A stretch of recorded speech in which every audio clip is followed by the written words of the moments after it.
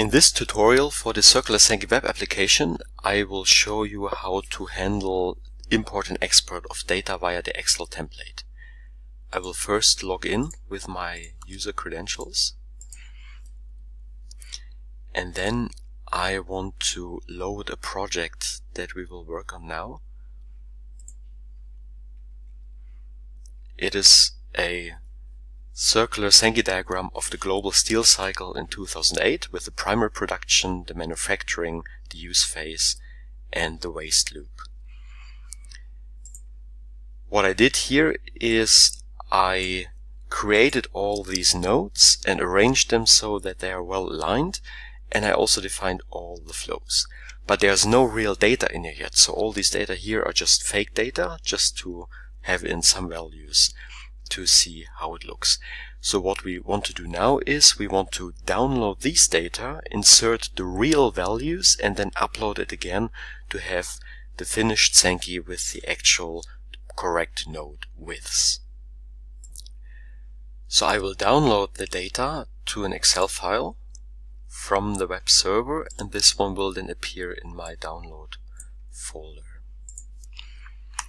From there I just copy it to my desktop as a working space and when you open the file you see there is one tab with all the flow data in separate columns and one tab with all the node data in separate columns.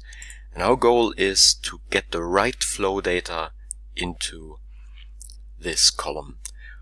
What I have is an Excel sheet with the raw data that I extracted from the database with the final steel consumption, old scrap supply and all the other values and also the total that I want to be displayed.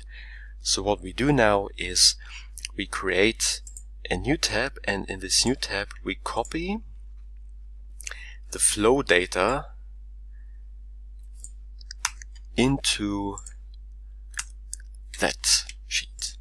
So now here I have all the right flows defined but with the wrong values. So now what I will do is I will put next to it a column where I copy the right values that I know I want to display. So the first one you see here is the losses. We have the losses for six regions and I want to copy those losses from here to the datasheet. So I will just take them from the sheet and drag them down for the first six examples. The next one is the scrap flows. So from the in-use phases to the scrap markets.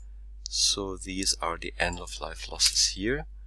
So those I will also drag down here. Then I introduce a graphical trick. I want to have the combined scrap flows flowing as one flow back into the recycling loop. So from the scrap market 1 to scrap market X, I want to display the scrap total here. And there's another intermediate flow for which it is the same. And this is just a design choice that I made so that the whole thing looks nicer.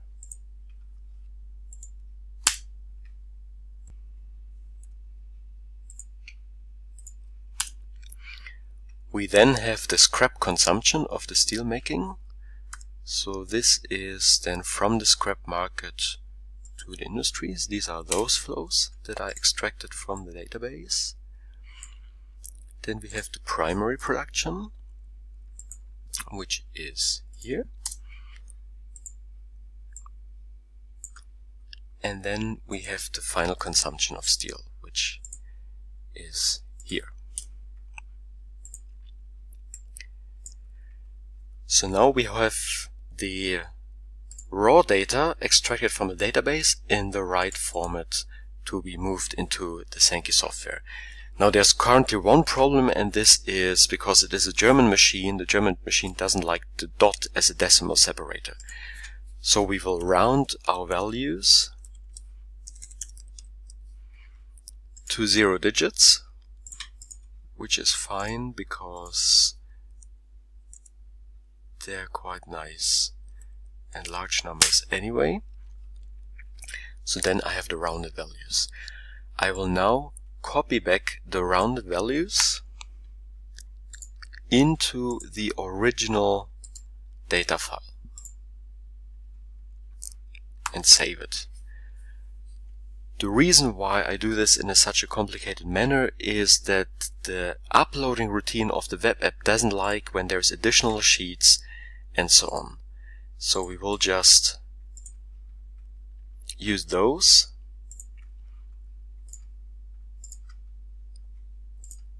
and and save this new datasheet and then go to the web app again and upload the data from the desktop.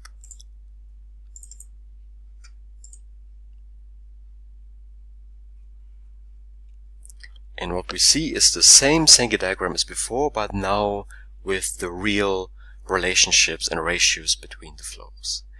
So this is how you can use the Excel template to put in actual data and have then the web app display the actual relations between flows. And to save that, you can see here the actual data, and then we would update the data in the database so they are now safely stored on the server.